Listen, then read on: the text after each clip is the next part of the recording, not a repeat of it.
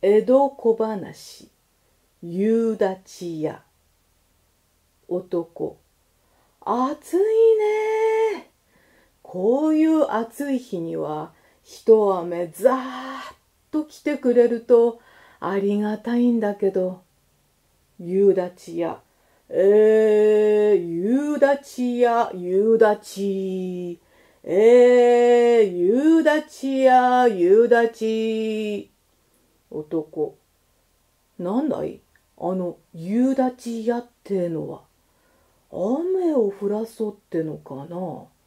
面白い。呼んでみよう。おーい夕立屋夕立屋。へい毎度ありがとうございます。男。お前さん、夕立屋ってくらいだから、雨を降らせるのかい？夕立屋。へえ、さようでございます。男。へえ、で、いくらなんだい？夕立屋。へえ、これはもう、ほんのお志程度で結構でございます。男。そうかい？じゃあ、早速、300文ほど降らしてもらおうか。夕立屋。へえ、かしこまりました。なんてんで男はしばらく呪文を唱えておりましたがやがて雨がザーッと降ってまいりまして男おや？おかげで涼しくなったよ。